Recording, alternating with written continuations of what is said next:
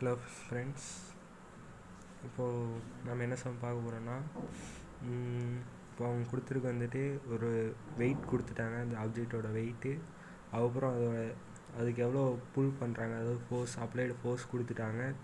Three fifty newton அப்புறம் angle வந்துட்டு thirty degree அதுக்கப்புறம் இதில் என்ன கண்டுபிடிக்க சொல்லியிருக்காங்கன்னா coefficient of friction coefficient of friction கண்டுபிடிக்க சொல்லியிருக்காங்க. அதுக்கு ஃபார்முலா வந்துட்டு W sine alpha plus mu R equal to P அதுக்கப்புறம் அதை வந்துட்டு நம்ம அப்ளை பண்ணுறோம் அப்ளை பண்ணால் நம்மளுக்கு ஆர் என்னன்னு தெரியாது. ஆர்னா நார்மல் ரியாக்ஷன் இப்போது ஆர் கண்டுபிடிக்கணும்னா W cos cos alpha equal to அது அப்புறம் வெயிட்டு அப்புறம் ஆல்ஃபா அதை போட்டு நம்ம வேல்யூ கண்டுபிடிச்சிருவோம். அப்புறம் கண்டுபிடிச்சிட்டு அப்புறம் அந்த ஆறுங்க ஆரை வந்துட்டு இங்கே அப்ளை பண்ணுவோம் இந்த இதில். அப்ளை பண்ணோம்னா நம்மளுக்கு அந்த சிம்பிளிஃபை பண்ணால் ஆன்சர் கிடச்சிரும்.